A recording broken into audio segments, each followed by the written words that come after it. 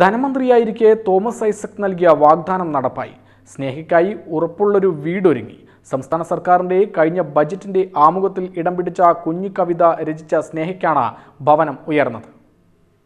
Sir നേരം പുലരുകയും സൂര്യൻ സർവതേജസ്സോടെ ഉദിക്കുകയും കനിവാർന്ന പൂക്കൾ വിരിയുകയും വെളിച്ചം ഭൂമിയെ സ്വർഗമാക്കുകയും ചെയ്യും.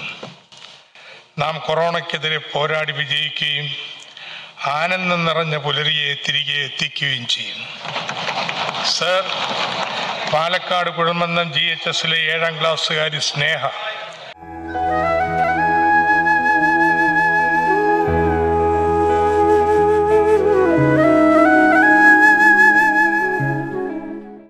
തോമസ് ഐസക്കിനൊപ്പം ആദ്യ ജനകീയാസൂത്രണ പരിപാടിയിൽ സഹപ്രവർത്തകരായിരുന്നവരുടെ കൂട്ടായ്മയാണ് വീടിന്റെ നിർമ്മാണ ചെലവ് വഹിച്ചത്.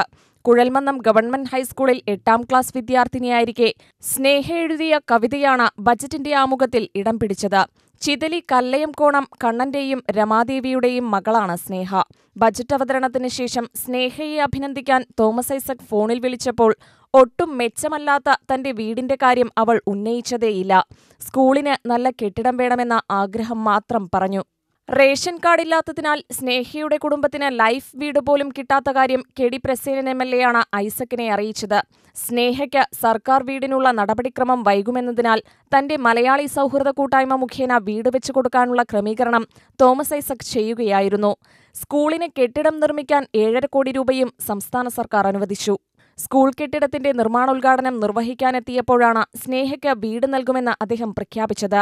രണ്ട് കിടപ്പുമുറി ഹാൾ സിറ്റ് ഔട്ട് അടുക്കള എന്നിവയടങ്ങുന്ന പ്രകൃതി സൗഹൃദ വീടാണ് I R T C P P C വിഭാഗത്തിന്റെ മേൽനോട്ടത്തിൽ നിർമ്മിച്ചത്. ഏപ്രിലിൽ ആരംഭിച്ച പണി മൂന്ന് മാസം കൊണ്ട് പൂർത്തിയാക്കി. Chithali Kallayam Konath K D Prasenan M L എയാണ് വീടിന് കുറ്റിതറച്ചത് നിയമസഭാ സമ്മേളനമുള്ളതിനാൽ വീട് പാലുകാച്ചലിനെത്താൻ കഴിയാത്തതിന്റെ വിഷമം സ്നേഹയെ നേരിൽ കണ്ടറിയിക്കാൻ ഞായറാഴ്ച പ്രസേനനെത്തിയിരുന്നു ആഗ്രഹിക്കാതെ ലഭിച്ച സമ്മാനം സ്നേഹയ്ക്കും കുടുംബത്തിനും നൽകാൻ മുൻമന്ത്രി തോമസ് ഐസക് നേരിട്ടെത്തി. കുഴൽമന്നത്ത് സ്നേഹയ്ക്കായി നിർമ്മിച്ച വീട്ടിലെത്തിയ മന്ത്രിയോട് സ്നേഹ സന്തോഷവും നന്ദിയും പ്രകടിപ്പിച്ചു. സ്നേഹയെയും ചേർത്ത് പിടിച്ചാണ് തോമസ് ഐസക് മാധ്യമങ്ങൾക്ക് മുന്നിലെത്തിയത്.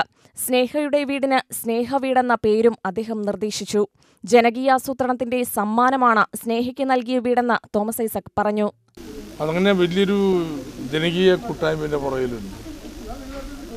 കാരണം ജനകീയ ആസൂത്രണത്തിന്റെ ഏറ്റവും വലിയ നേട്ടം നമ്മുടെ സ്കൂളുകളിൽ വന്ന മാറ്റമാണ്. അതിന്റെ ഒരു ആഘോഷം കൂടി ആവട്ടെ സ്നേഹയുടെ വീട് എന്ന് ഞങ്ങൾ കരുതി. നീ പറ. സാറിന്റെ അഭിപ്രായം. സാറ് പറയട്ടെ. സ്നേഹ വീടുന്ന് എന്ന് എന്നെ വിളിച്ചു C P M Kuzhalmannam area committee secretary S Abdul റഹ്മാനെ നൽകിക്കൊണ്ട് പുസ്തക പ്രകാശനവും തോമസ് ഐസക് നിർവഹിച്ചു. വീട് ലഭിച്ചതിന്റെ ആഹ്ലാദത്തിലാണ് സ്നേഹ.